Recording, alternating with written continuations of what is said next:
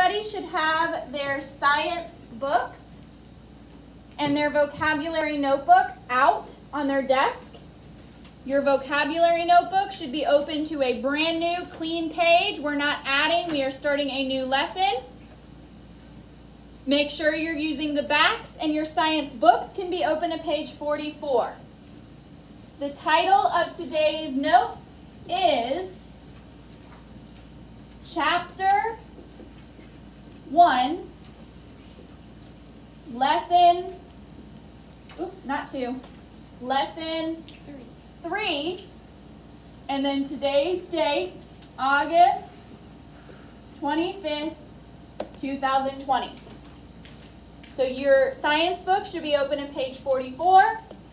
Your vocabulary notebook should be open to a clean page in the science section. So everybody really quick before we move on, make sure you're in the science section of your vocabulary notebook. That's the second section. Not the first and not the last. The title of your notes is Chapter 1, Lesson 3, so that should be written in the big empty spot on the top of your page. And then you should also have today's date, August 25th, 2020. Carla, did that answer your question about vocabulary? I had already answered that question. You just have to make sure that you're listening. So when I speak, this is for everybody. When I speak, you should not be raising your hand. Because what may and most likely is going to happen is that I am about to answer your question just by telling you directions. But if you have your hand up, you're not thinking about what somebody is saying to you, you're thinking about what your question is. So when I am speaking or when one of your classmates is speaking, your hand goes down. You listen to what I or what your classmate has to say. Then if whatever we said does not answer your question, then your hand goes back up. Does everybody understand that? That way, we don't get the same question five or six times, and I don't have to repeat directions that I've already said as often. Okay, so once you've written the title of today's notes and today's date, go ahead and put your pencil down and look at page 44. This lesson is all about the plant kingdom. Look at the look and wonder box and think while I read out loud. Think about your answer to these questions in the look and wonder box on page 44 while I read out loud. Have you ever wondered where food comes from? You might say the supermarket. But where does food really come from? The story begins with the sun and leaves. What do leaves have to do with making food? Now, you may have no clue. You may have been like, wait, I think I've heard this before. You may have an idea, or you may have no clue what leaves have to do with making food. But after this lesson, you're going to have a better idea. So, we know that food doesn't come from the grocery store. That's where we buy it from, but it doesn't actually come from there. It comes from somewhere else, then goes to the grocery store, then we buy it, then it comes to our house. It's not grown at the grocery store or anything like that.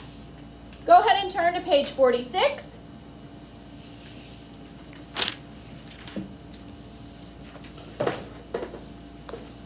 People at school, go ahead and put on your face mask, your face shields. And then Aaron, once you have your face shield on, you can pull your mask below your chin and read us the main idea. Remember, we can find the main idea on that little picture of a bookmark all the way to the left on page 46. Aaron, read, pull your mask below your chin because your face shield's on, and read loud, all the way below your chin. There you go. And read loud and slow. Main idea. The roots, stems, and leaves of a plant help it get water, support itself, and make food. Good. So that's the main idea of this chapter. That means all everything that we read in this lesson is going to support that main idea. It's going to be a detail that supports that main idea. Thank you, Aaron. Go ahead, keep reading. Aaron, sorry. Don't forget to read the subtitles. How do we clap? Loud. Girls at home, if you cannot hear, Aaron is just reading the very first paragraph on page 46. It's that big block of text at the top of page 46. But wait to see if you can hear her. Aaron, read really loud. How do we classify plants? Plants come in all sizes, all sizes and shapes and colors. Some are so small you can barely see them. Others can be as tall as skyscrapers. In all, there are about 400,000 different kinds of plants. There's probably even way more than that. Now, they've probably found hundreds, if not hundreds of thousands, since this book was published. Okay, thank you, Aaron. So some plants are teeny, teeny, tiny, so small that we can't even see them. Some plants are massive, as tall as skyscrapers. Skyscrapers are those really big buildings. We call them sky skyscrapers because they look like they're scraping the sky. Thank you, Aaron. Go ahead and read next, Victoria. Read loud and slow. Pull your mask below your chin because you have your face shield on. And girls at home, if you cannot hear her, she is reading the second paragraph or the second block of text on page 46. Read loud, don't forget um, subtitles.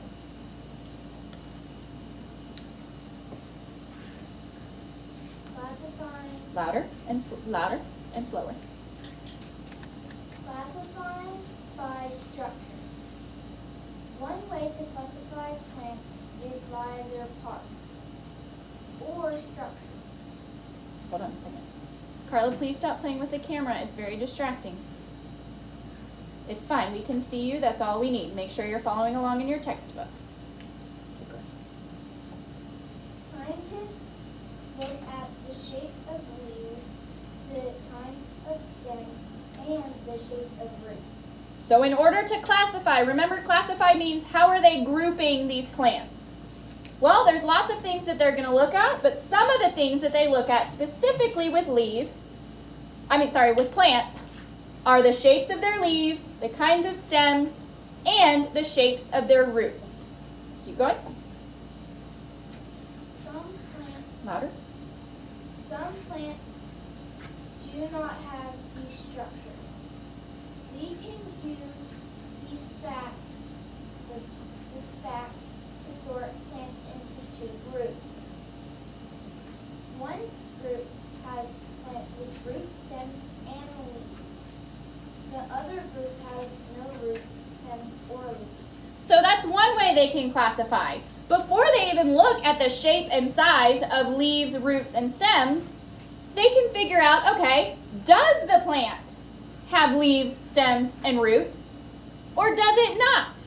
But they're not going to stop there because then we would just have two really, really big groups. So, now Victoria, read that last paragraph or block of text on page 46. All plants need to move water from the, from the ground to their cells. Plants with roots, stems, and leaves have a system of tubes, tubes for this. Mosses, mosses, Louder. mosses, and other plants that lack such structures grow close to the ground. They don't need a tube stem Not stem, but system. They take in water directly from the soil. Good. So, plants with roots, leaves, and stems have like tubes you inside those roots, stems, and leaves to bring water to all parts of the plant. It's like our veins. We have veins in our body that lead um, blood all throughout our body. Well, in a plant, they have the similar things inside their leaves, stems, and roots that transport water to all parts of the plant. But some plants don't have roots, stems, and leaves. So how do they get water? I'm not asking you to tell me some brand new information. How do plants without roots, stems, and leaves get water? Zari? They have a tube system. That's plants with roots, stems, and leaves. How do plants without roots, stems, and leaves? They don't have that tube, tube system. So how do they get water? Zari, make sure to pay attention to the question. Kingston? They get it directly from the soil. Thank you, Kingston. What does that mean? Where do they have to grow, Kingston? Can they grow really tall if they have to get the water directly from the soil? Can they be really tall? Think of a really tall tree. How is the top of that tree, how would it ever get water directly from the soil when it's way up high? Would it be able to? Without tubes running through its body? Cullen, can you help them out? No. No, they're too high. They don't these plants don't have those tubes through the stem, so where do they have to grow have so that they can get the water directly from the soil? They have to stay low to the ground. They have to stay low to the ground. So things like mosses. Who's seen moss on a um, like a tree on the uh, on a dead log? They have to grow. They're very short. Do they get really really tall? No, they don't. They're really short. Like at the most, maybe they're like this high. Look at the cat. Look at the picture on the bottom of page 46. This is another type of plant that does not have root stems or leaves. Read the caption. Who wants to read the caption? Michaela, read loud and slow. Wart plants do not have roots, stems, or leaves. So wart plants do not have root stems or leaves. So where do wart plants have to grow? Michaela? Where do wart plants have to grow? Can they be big and tall?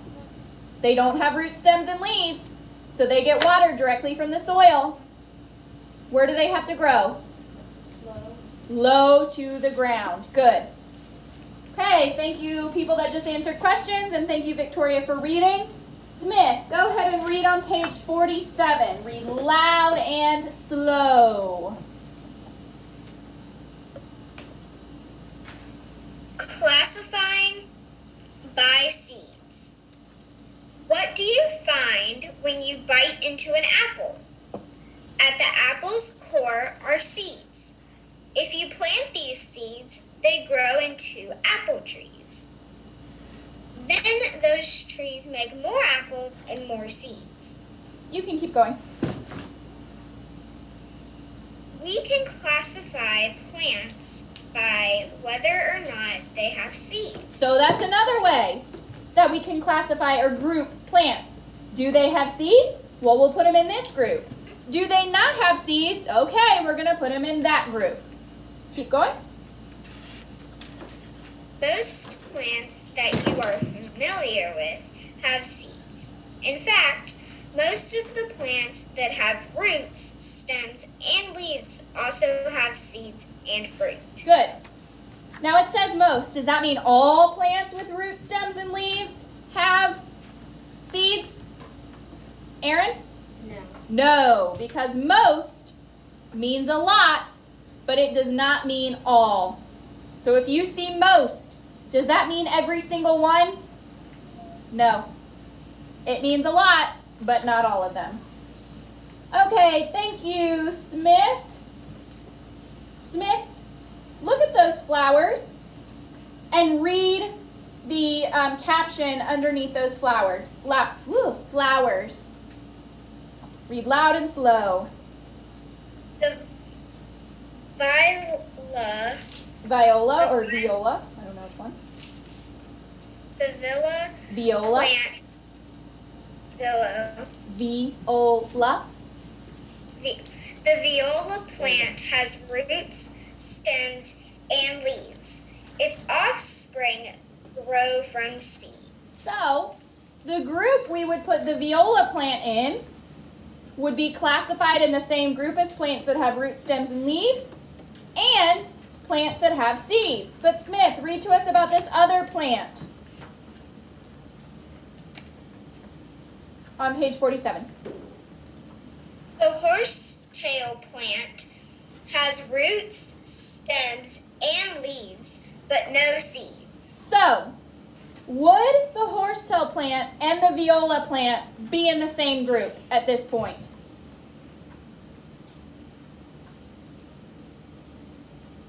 Looking for somebody who hasn't answered a question yet. Victoria? No. Why? No, because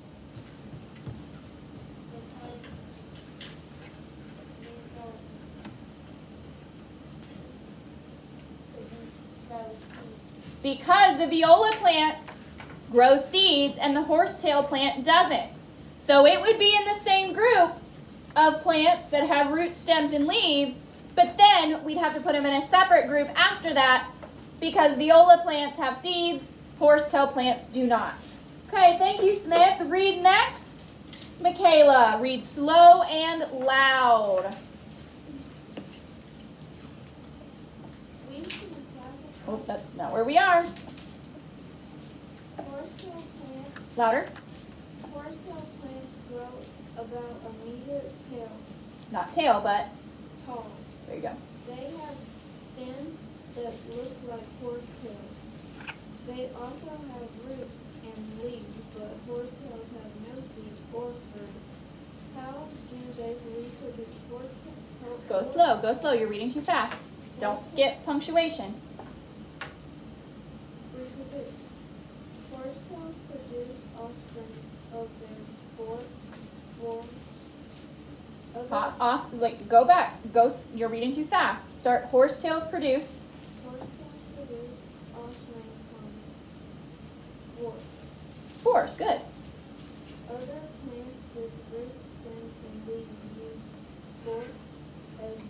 Good. So, plants with seeds reproduce, or remember, create offspring from their seeds. Well, plants without seeds still have to reproduce, otherwise, they're going to die out and they're not going to exist anymore. But they reproduce differently. They reproduce with spores. And we will talk about spores later in this lesson, but probably not until tomorrow because we're going to do the second half tomorrow. Okay, any questions on pages 46 or 47? Any questions in the world, as long as it has to do with the information on page 46 and 47, and I will try to answer it. Zari, quickly.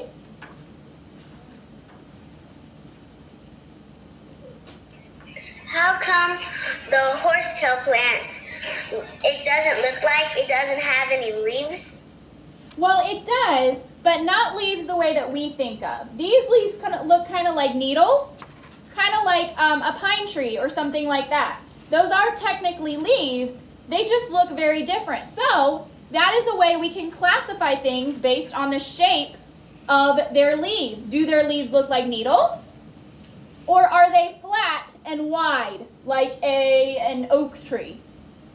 So that's another way. That's why they classify based on leaf shape. So Zari, that was a really good question. Okay, Carla, and then we're to move on. Um, I just noticed that um that the water plant had like have like a look of a bumpiness. Oh yeah, they do. It does look like it could be bumpy. So maybe that has something to do with um, getting water. They don't have leaves, so maybe those little bumps help it to get water somehow. I don't actually know, but we can uh, we can imagine that maybe that's what it's for. Okay, That's a great Carla. question, also, um, Carla. Yes. Okay, go ahead and turn the page and look at page 48.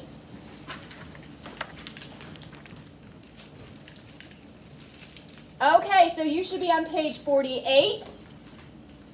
And go ahead and keep reading. Michaela, don't forget, go uh, slow and loud and read subtitles. And pull your mask below your chin. Slow and loud, almost like you're yelling. How do plants get what they need? About 400 years ago, a Dutch, a Dutch scientist named Jenny Van Helmont J- I would Jan van Helmont because a lot of times in Dutch countries, they say the J like Y. But names, I may not even be pronouncing them right. So just do your best. Sound it out. So we'll say Jan van Helmont. Jan van Helmont wanted to know how plants meet their needs. He planted a seedling, a seedling in a pot of soil. He watered it regularly after five years. Remember, go slow, go slow, slow down. After five years, the seedling became a small tree. Only a tiny amount of soil was missing from the pot. Where did the plant go? The Not go, but where did the plant? where did the where did the plant get the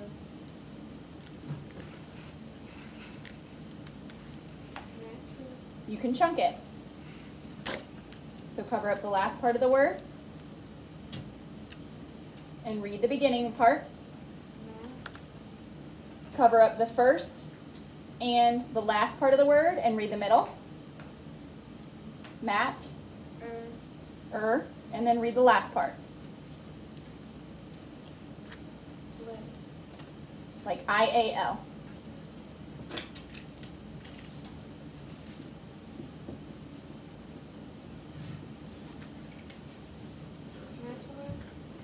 Try. Chunk it. So look at what I've got. Please don't do that.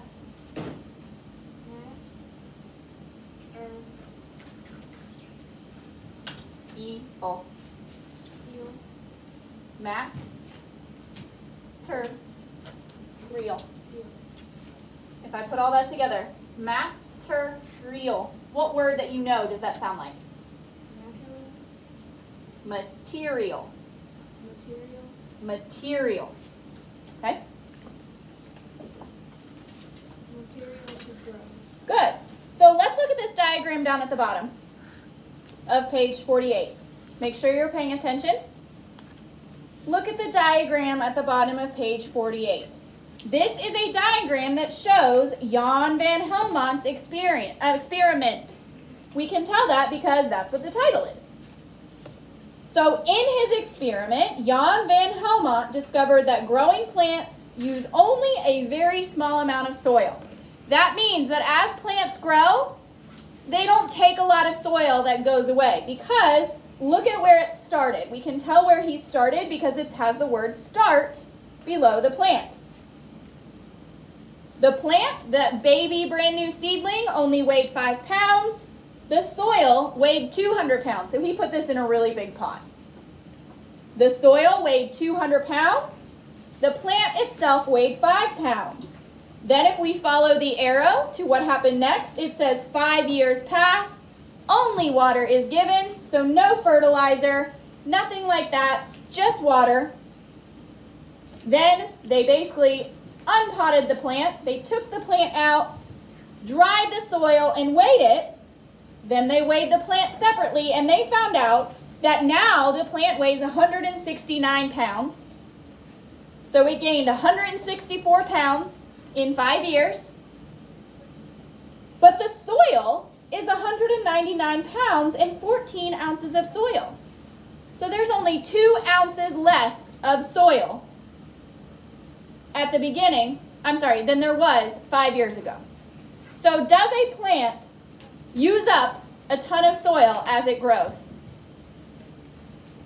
No, it doesn't. We can see from this experiment. Make sure that you are following along. We can see from this experiment. Victoria, stop playing with it or else you're not going to be able to have it anymore. So, keep reading to figure out what his conclusion was. Kingston, loud and slow. Pull your mask below your chin. You have your face shield on. All the way below your chin, not just down a little. Read loud and slow. All the way down, Kingston, down here. Read loud and slow. Do you know where we are? Were you paying attention? You're supposed to be following along in your book. You could if you were listening. But if you were thinking about other things, and you couldn't. You guys in school can hear each other. It's just the girls at home.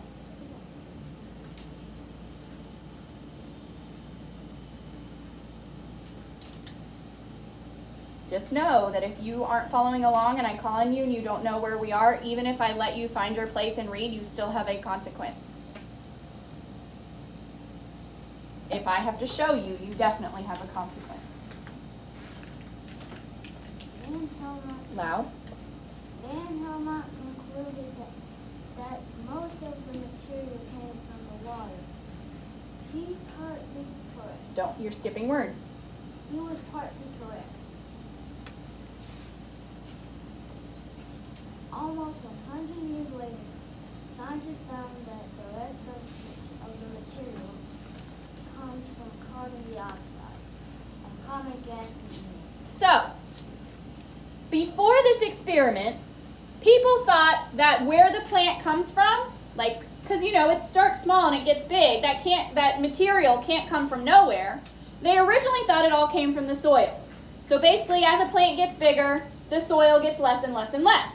But then, after Van, Helmont, Van Helmont's experiment, they found out, okay, it's not coming from the soil because there's still pretty much all of the soil left in this pot. So then he thought, okay, maybe the material comes from water. The water is where the material comes from. Well, then, about 100 years later, scientists figured out that it doesn't all come from water. A very small amount of that material in the new plant comes from the soil, more comes from the water, and the rest comes from carbon dioxide. So, three things come together to create the material in a growing plant. It can't come from nowhere, it doesn't just appear. It comes from a little bit of the soil, but not much, a lot of water, and a lot of carbon dioxide. And all of that comes together to create the rest of the plant, the growing plant. Okay, Kingston, keep going. Louder. we know that trees and other green No, you plants skipped a word. We now know that trees and other green plants use the energy from sunlight to make their own food. The key ingredients are water and carbon dioxide. Good. So now, many, many, many years, so 300 years after people also realized that the material in plants comes from carbon dioxide, we also know that it also comes from the energy from the sun. So four things come together to create, to grow plants, to make them bigger. A little bit of soil, a good amount of energy from the sun, but mostly water and carbon dioxide. Okay, go ahead and read on page 49. Cullen, pull your mask below your chin. You have your face shield on. Loud and slow. Don't skip words. Don't add words. Make sure to pay attention to punctuation. The Louder. the role of roots. Roots take up water and nutrients from the ground. Pause. We have a word that's yellow and bold. That means it's our first vocabulary word. So we have a one on the left side of the pink line, and then our vocabulary word, which is what, Cullen? Roots. Roots on the right side of the pink line.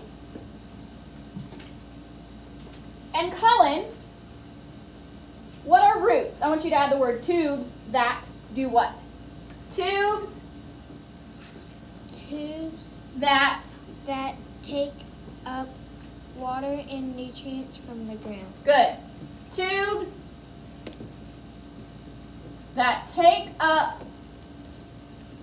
water and Nutrients. nutrients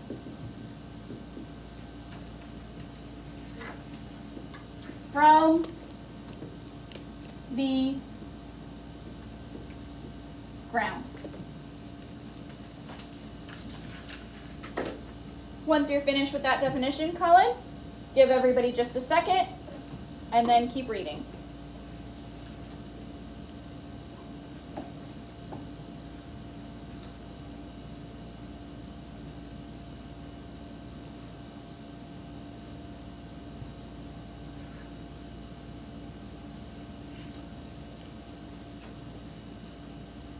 Just a second. Like you don't have to watch just because you're just giving them a second. Like so maybe count to 30. Fast, slow, and then read. Fast, slow means like one, two, three.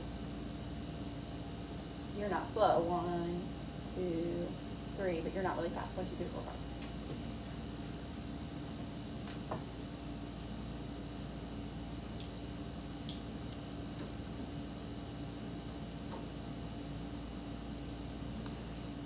They also keep plants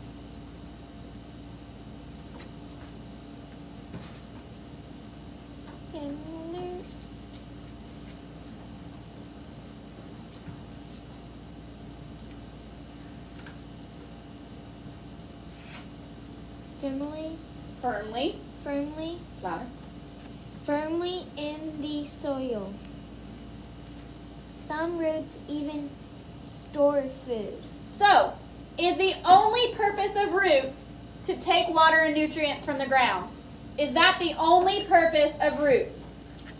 What other purposes do the roots have? Victoria, tell me one. Loud.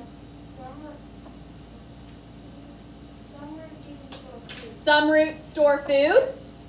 What other purpose do they have? Zari? Some some take up water. Well, that's the definition that we have, so I'm looking for different ones, Ari. Victoria said they some store food. Some some help keep keep um, the plant in the ground. Good. Pretty much all roots help to keep the plant in the ground. Because think about it. Raise your hand if you've ever had to help your parents pull weeds. Some of them don't come up so easily, do they? It's because of those roots that are in the ground. They're trying to do their job and keep it in the ground. So even weeds, the roots don't know, hey, this plant shouldn't be here. So they hold it in the ground. Good. Um, keep going, Cullen. Go slow and loud. Roots are covered with root hairs. These are thin cells that look like threads. Root hairs take in the water and nutrients that plants need. Now, notice I had Cullen keep reading, even though usually we stop after a vocabulary word. That's because we have to take all three of those sentences and combine them into one definition. So, Cullen, you think you can do that? Take all three of those sentences to come up with our next definition. I mean, our next, yeah, which is, what's our vocabulary word, Cullen? Root hairs. root, hairs. If you think you can come up with one, once you have come up with a definition that includes all three of those sentences for root hairs, you may put your hand in the air. But Cullen, I want you to keep trying. Think of a way that you can combine all three of those sentences that Cullen just read into one definition. Once you have thought of one, you can put your hand up. Don't look at me, it's not here.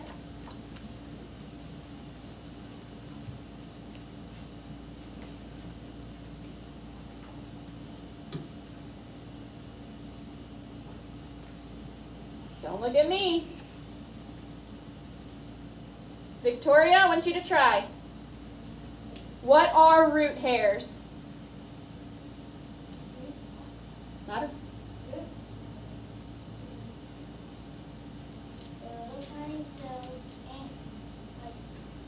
You can you can say the direct words, but you can combine them into one definition. These are, they are thin cells that look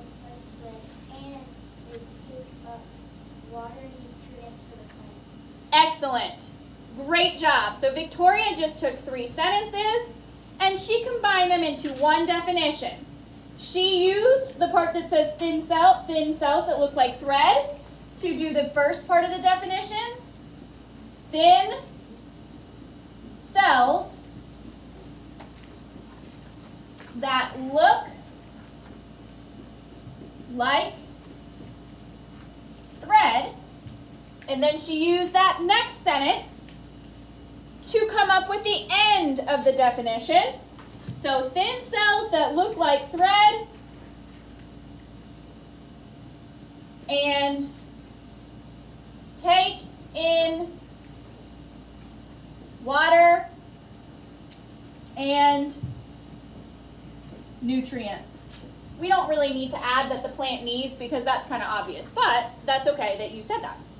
Very good. So you guys are going to get better and better at this because as we read, some of the words are going to be, they're not going to be quite written where right after the word is the definition. So Cullen, fast, slow, count to 30, and you can read that last paragraph in that section because your first two paragraphs were pretty short.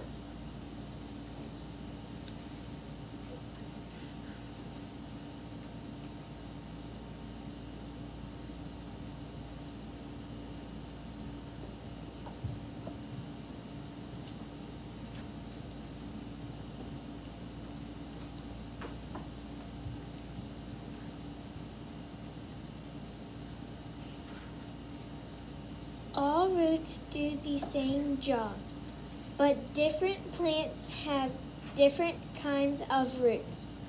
Carrots and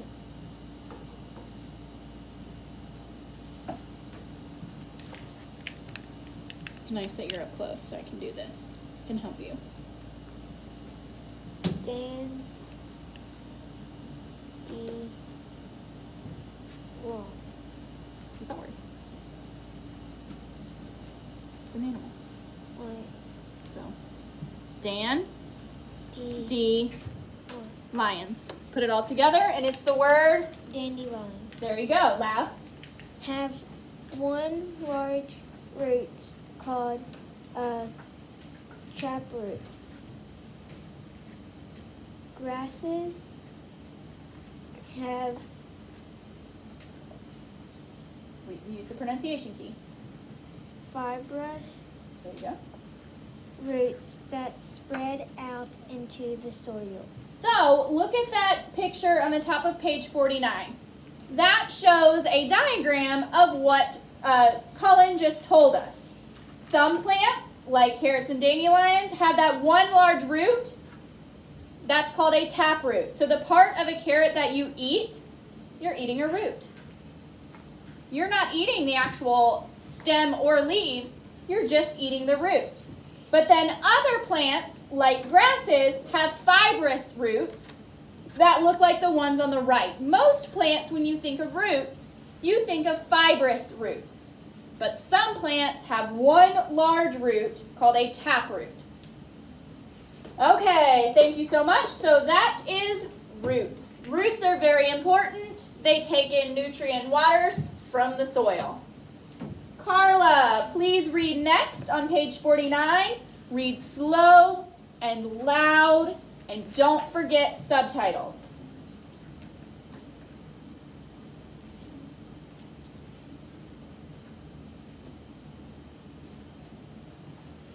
She's reading. She just doesn't. Oh, Carla. Oh, I'm sorry. Don't forget to unmute yourself. That's okay. So start over. I thought you were finding your place.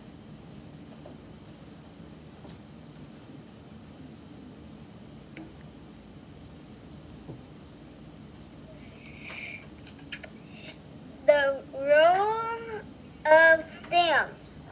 A plant stem grows above the ground. So pause. Where do roots grow? Michaela? In the ground. But Carla just told us stems grow above the ground. Keep going, Carla. The stem move food, water, and nutrients throughout the plant. Pause. What's our third vocabulary word, Carla? Stem. Stems. And what do stems, what are stems? We're going to call them tubes that do what, Carla? Tubes that move food, water, and nutrients throughout the plant. Good. Tube, tubes, not tubes, tubes that move water, food, and nutrients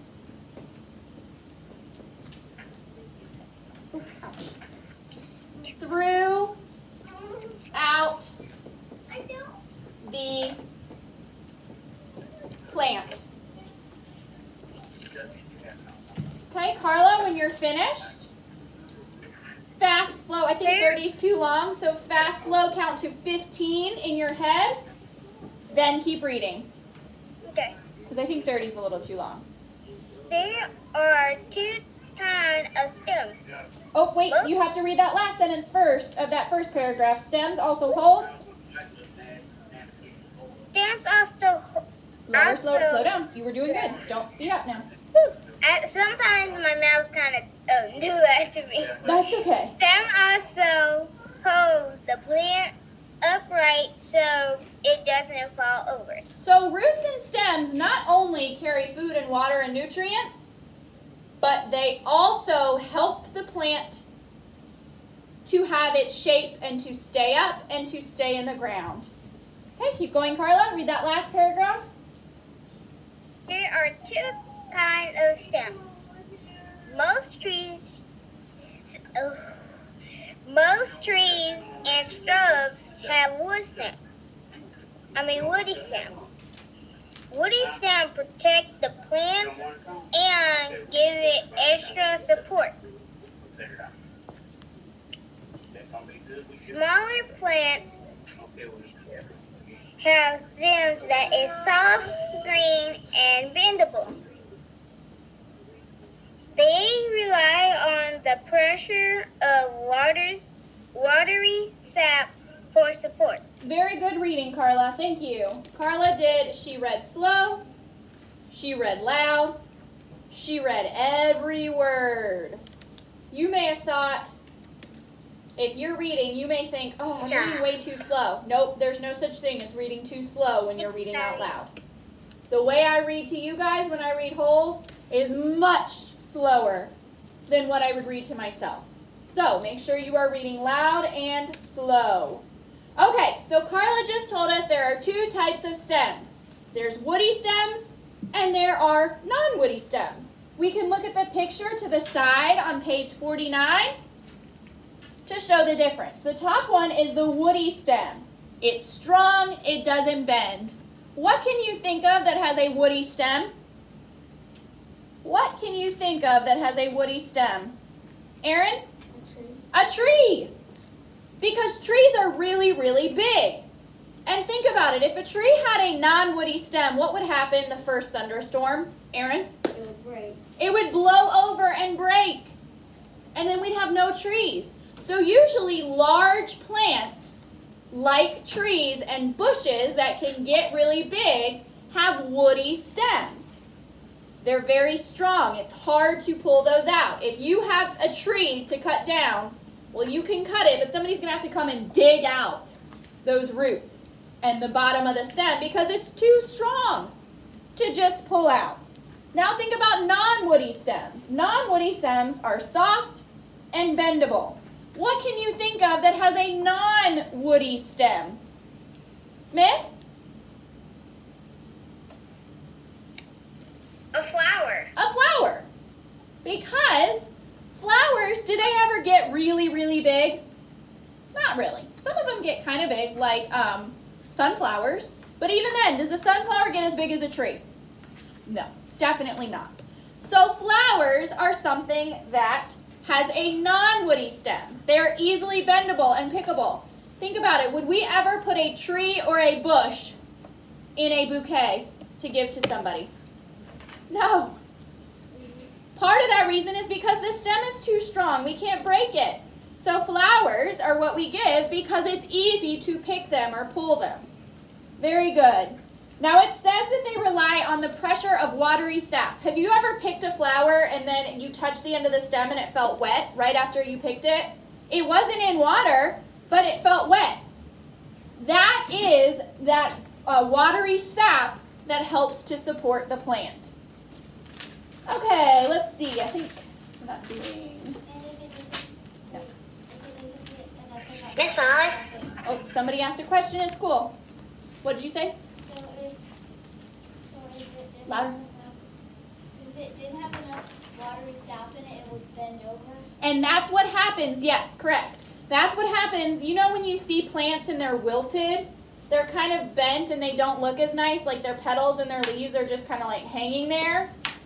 Something has happened that that watery sap is not really watery anymore. If it's called watery sap, what do you think a lot of it is made out of? Zadie? Water. Water. And you've probably noticed if you don't water a plant, it droops. That's because that watery sap is not giving it the pressure to stay up. Very good. Okay, so we're done with science for today. You do have homework. It is the vocabulary for this lesson. So that means you don't need to bring your vocabulary notebook home because you don't even have all the vocabulary words. But you do need to bring your science book home because your science book has all the words. That means you may have to skim some of the stuff that's coming up, but you do not have to read. Hold on. You do not have to read the rest of the lesson. You've done the vocabulary before. So on the front is the matching. What should you always do after you match a word to a definition? Cullen? Go over and go over and look at it again. Go over it and check to make sure that it makes sense. So if you have the vocabulary word root and you say that it goes with definition G, which is a tube, well, no, which is a hole, a tiny hole in the bottom of a leaf. Would that make sense? Is that what a root is when you look in your book, Cullen? Eh. No. No. So after you match those vocabulary words, check to make sure that it makes sense. On the back, you have that long paragraph where you fill in the blanks. What should you always do after you fill in the blanks? Not just check it, but what should you do after you fill in all the blanks? Zari? You should see if you use um, all of the words, and if you make, and if you don't, um, and if you didn't use all the words, you use them twice. Well, that could be, but we're not really worried about that because sometimes word banks don't give us enough words because we have to use one word more than once. Sometimes word banks give us more than enough, so that means we're not going to use some words. So we're not always going to rely on the word bank to tell us how many words we need to use. But what you do need to do after you fill, fill in all of those blanks is that you need to go back and read it with the words you put in the blank. Does it make sense? Because if the sentence was, plants rely on blank to take up water and nutrients from the soil, and you put the word respiration in there, and then you reread the sentence and it says, plants rely on respiration to take up water and nutrients from the ground, would that make sense? No. No. No. So when you read, when you fill in a blank, after you fill in all the blanks on that paragraph, No. go back and read the whole paragraph and make sure that the words that you chose made sense.